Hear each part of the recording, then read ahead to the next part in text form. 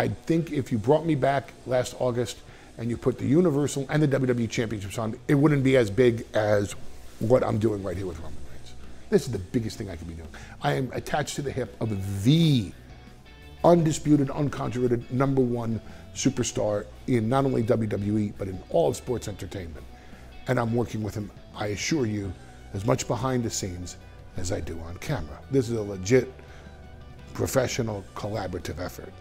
I only want this gig as long as I'm the man for it. Or the woman for it, or whatever, you know, the human being, the, the, the being for it. As long as I'm the best for it.